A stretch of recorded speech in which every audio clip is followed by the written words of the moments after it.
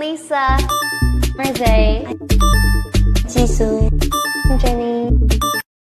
في الليلة الماضية حققت جيسو نجاح جديد كفنانة منفردة وفازت بخامس جائزة لها بأغنية Flower في عرض ام بي سي ميوزك وبذلك أصبحت جيسو أكثر فنان في البوب الكوري فاز بالعديد من الجوائز في عام 2023 على الرغم من عدم الترويج لألبومها بنشاط كباقي الفنانين المنفردين.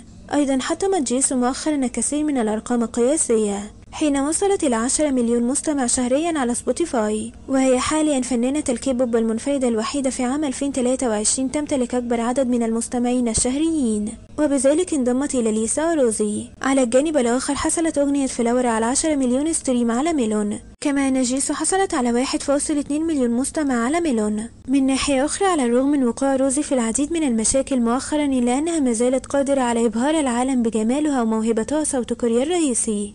فقبل يومين فقط أصدرت مجلة جيكيو كوريا غلاف عدد مايو بصور روزي وهي ترتدي العديد من الملابس الأنيقة التي توضح جمالها حتى أن مجلة جيكيو كوريا أضافت بجوار روزي عبارة أشياء جميلة.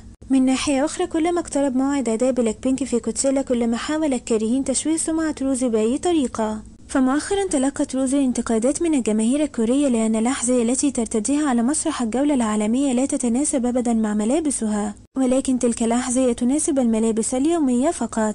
حتى أن بعض المعجبين انتقدوا stylist روزي لجعلها ترتدي هذه الأحذية البسيطة. ولكن على الفور ظهر محبي روزي قائلين أن تلك الأحذية بدون كعب عالي ومريحة. نظرا لأن جميع الفتيات تظل واقفة لساعات طويلة فقط من أجل إعطاء الجمهور أفضل أداء. ولكن في المقابل يرى الكارهين أن روزي لا تمتلك حس بالأناقة وتفعل ما تريد فقط من أجل الشعور بالراحة. أخبرني في التعليقات عن رأيك أنت في هذا الموقف. ولا تنسى الاشتراك في قناتي من أجل معرفة المزيد عن أخبار بلاك بينك أراكم في المرة القادمة.